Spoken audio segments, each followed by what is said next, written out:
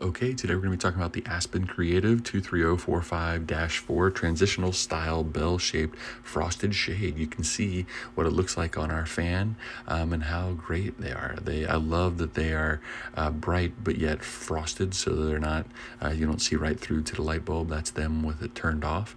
Again, they look really nice. So very happy with them. They're well built. Uh, they came intact and uh, looking good. So pretty great stuff here. Would definitely recommend them.